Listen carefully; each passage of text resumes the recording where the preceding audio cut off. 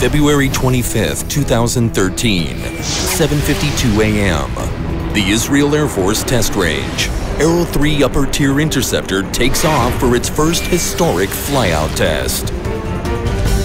Arrow 3, a new generation interceptor featuring new concept and advanced capabilities, is being developed to deal with long-range ballistic threats above and beyond the Arrow 2 envelope.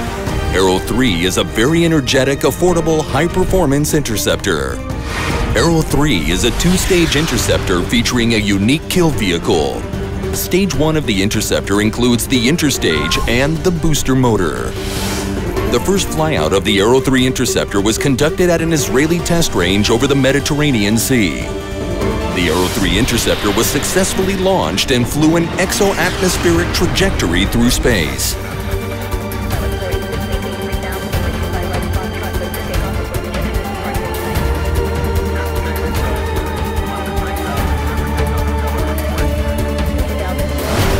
In the morning, the interceptor takes off. First, it performs a trajectory bending to get away from the shore and then starts climbing to reach outer space.